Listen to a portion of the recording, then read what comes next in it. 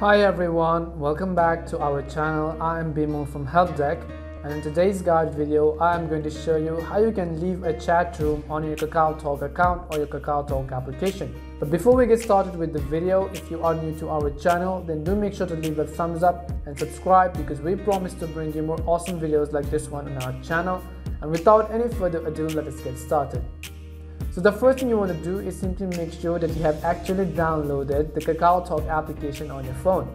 If you have not yet downloaded, then simply open your phone's respective app store in the search box type in KakaoTalk and then go ahead and download it.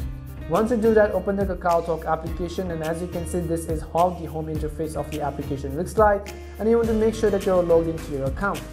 Now in order to leave a certain group or a certain chat room, what you want to do is you want to simply click on the group chat or chat room of which you are a member at. Once you do that, you will be taken to the group chat's home screen or the chat screen. So what you want to do is on the top right hand side, you will be able to see a three menu bar right over here. Once you tap on the three menu bar, a menu is going to pop up and you can see several participants who are a member of this group.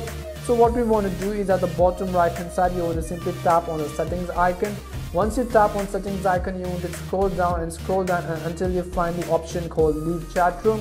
So what you want to do is simply tap on leave chat room right over here and you can see the uh, pop-up which comes up it's called leave a report and leave so you want to tap on leave again and you will be successfully removed from this chat room or this group chat. So in this way, you can really easily leave a chat room on your KakaoTalk application. We hope that this guide video was really helpful to you. And if it did help you, then do make sure to leave a like, comment and subscribe. As always, thank you very much for watching till the end of this tutorial and see you in our next video.